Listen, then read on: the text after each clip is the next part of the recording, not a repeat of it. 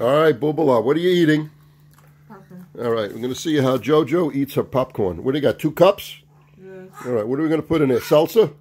All right, up to where? Fred's listening to you. He's put salsa in here too. Fill it up. All right, there we go. It's full. That's it. All right, it's got to be in the pink cup. You need the pink cup? All right, now what are you going to do? Show me.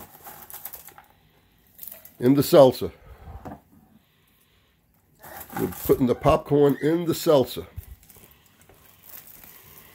Very interesting. And then you're going to eat it. Don't touch your hair. Meanwhile, Prince Charming was busy in Is that delicious?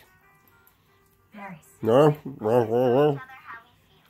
All right, so we got two cups of salsa. One you're going to drink, and one you're going to dunk the popcorn in. Meanwhile, Prince Charming was busy in the kitchen. Always tell each other how we feel. Dunk it really good.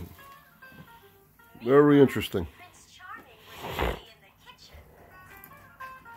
in. All right, Prince Charming was busy in say bye.